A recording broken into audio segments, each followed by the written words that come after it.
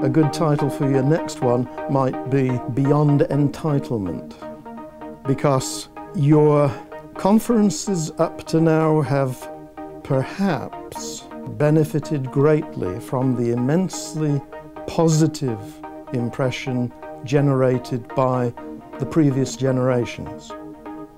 And I think what you need to do is to be thinking about following in their footsteps, not just merely as children, not just merely as inhabitants of this planet, but uh, also taking up their theme of what can we give back to Canada. It's more difficult for you because a lot of you were born in Canada and you don't think of yourselves in quite that way. This is a very inspiring moment for us all that we have come so far. Five years, five conferences. This will be the sixth, seventh, and eighth conference in 2013.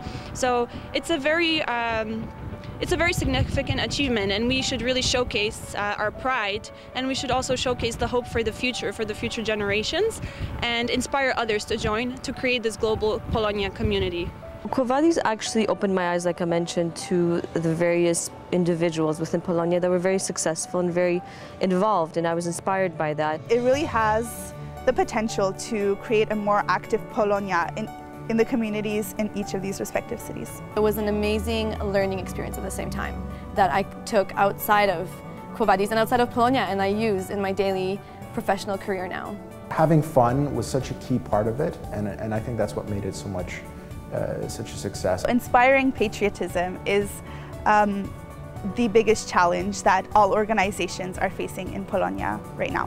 When it comes to Canada, I think the main challenge of Canada's current Polonia is the fact that there's not going to be an influx of Polish immigrants in the near future that are going to help revitalize our community. We have to do it ourselves. I think it has forced people, especially young people, to ask themselves that question. Uh, and this is the right time to do it. The biggest challenge going forward is uh, to really just connect with our Polish heritage in a meaningful way. Many of us already were not born in Poland or were born in Canada and it becomes harder and harder to maintain the Polish language, to uh, maintain that active link to Poland. The lessons that come out of Quo Vadis are, are really widespread. I think the most important thing that I've been getting out of them um, is trying to learn and understand what Poland is about now and how it relates to Canada and, and our lives here, how we have two homes and two cultures and are really blessed to be living uh, between kind of two worlds and be able to do what we love to do with both those cultures in one place. It's, uh, you know, throughout this five years, it's been very successful getting people back into the community. I attended to meet people, but also like to come back and like encourage other people because it's such a great experience. I was just thinking to myself, like, where has this thing been my whole life? Like, I have wanted to uh, join something, but it has never been of this magnitude.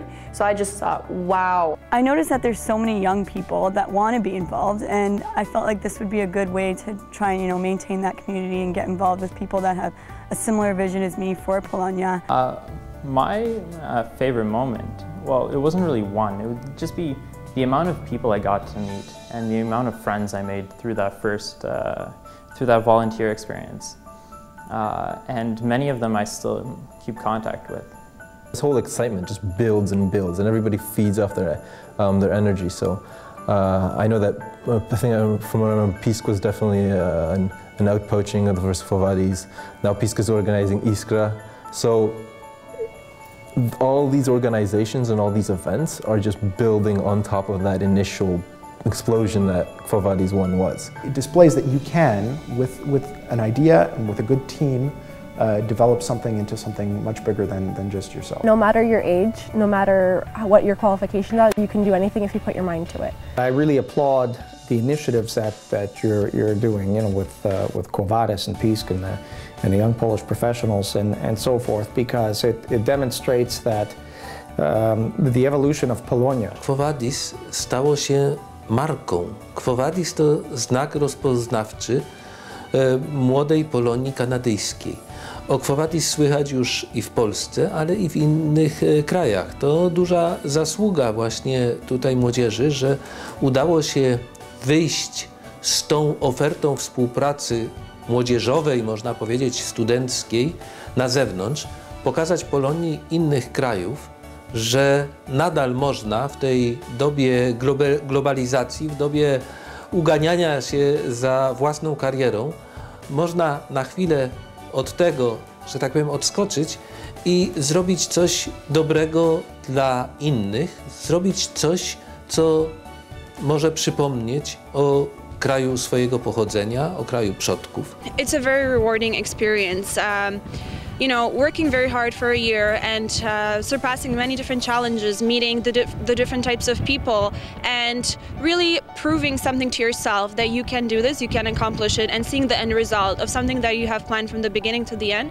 is a very enlightening experience. As a young individual, you don't always get the chance to challenge yourself in such a deep and profound way and really put your you know, put your skills and abilities to the test. In order to know where you're going, you need purpose.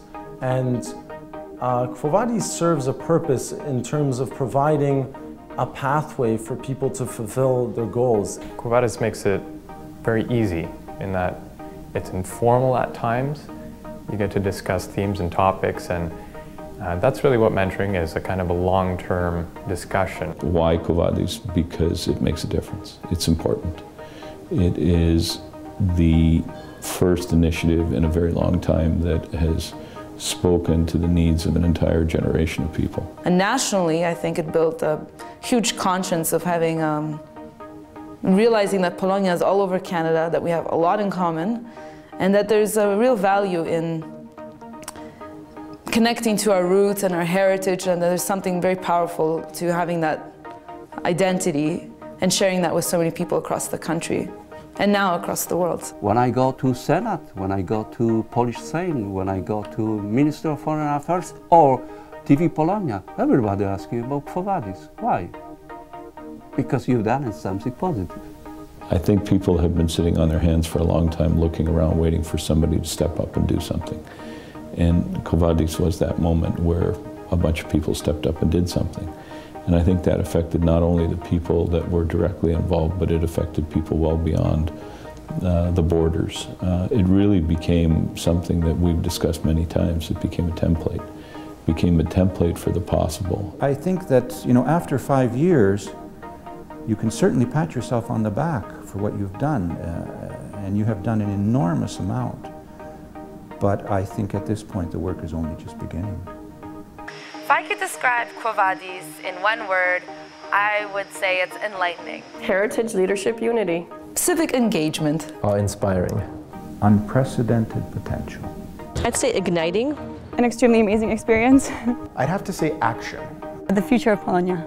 Amazing. I would say purpose. Inspiring and powerful. The reality is there's things you can't change. And where you've come from is one of those things. And it's worth reflecting on where you've come from simply because it's a point of departure for where you're going.